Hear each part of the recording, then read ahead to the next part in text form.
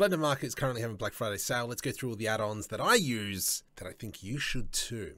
Also, if you don't see it in this list, let me know what add-on I should be looking at. Now, one of the first add-ons I ever bought was Geoscatter. Great add-on for creating environments. And in saying that as well, BProduction add-ons of Grasswald vegetation and forestation I use quite heavily. They mingle in quite well with the scatter add-on as well. But this isn't the last time I'm going to talk about BProduction. More fantastic environmental assets from the Polygoniq team and specifically the Botanica add-on. Mwah! Whole bunch of trees and a whole bunch of environments. Yes, recommended.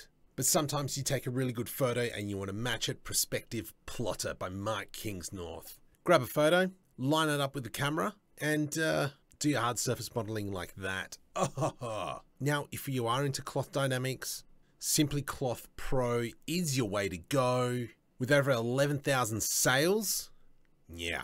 In the near future, there will be videos on how to create clothes because I need this for my web series. So, like and subscribe if you want to keep up to date with that. Now, good old UV Packmaster to optimize your UVs. This is something I use quite a bit when I'm not using my Dream UV add-on. We'll talk about that in a sec.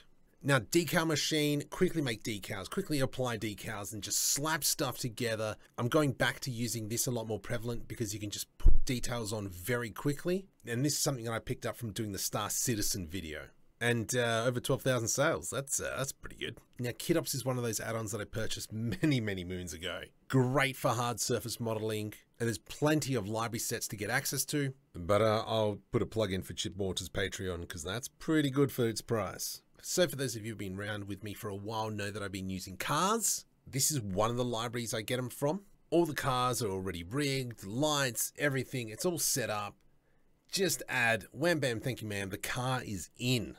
And this is the Traffic Car Models add-on by Polygoniq. And back to BProductions, the Transportation add-on with some really nice cars in here as well. And they all work off the same rig, which is mwah. Now uh, a little bit of a self-plug here the Dream UVs textures, all the kit bashing sets you can download from here. But uh, it's pretty much easy just to jump on Patreon and just download them there, as well with a whole bunch of other assets, just saying. Now this is one that I purchased not too long ago, and this is a massive library of materials that's hooked up to Ambient CG.